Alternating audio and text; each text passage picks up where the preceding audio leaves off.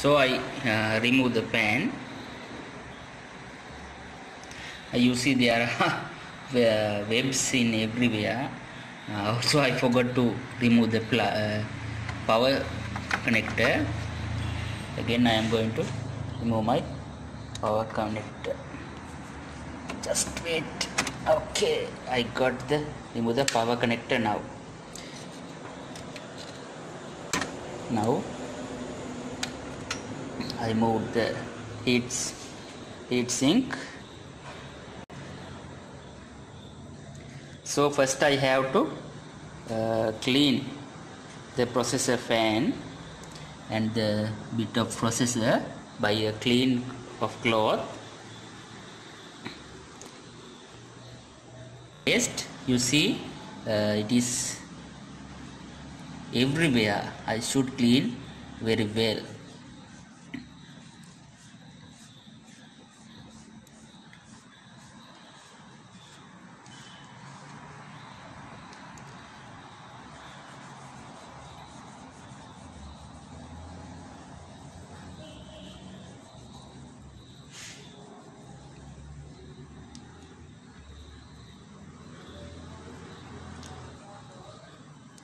so now can now you can see the details of processor. I think the camera may be not clear. However I uh, removed. Thermal paste previous thermal paste. Now I, then uh,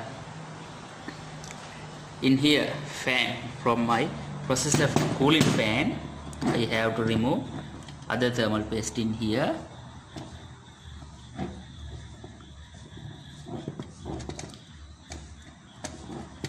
Because this is the reason to my restart in my computer always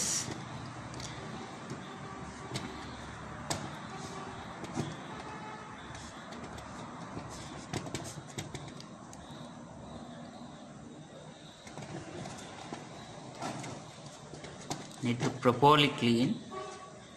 My processor and also the thermal paste is removed also. Webs in here. I have to check it.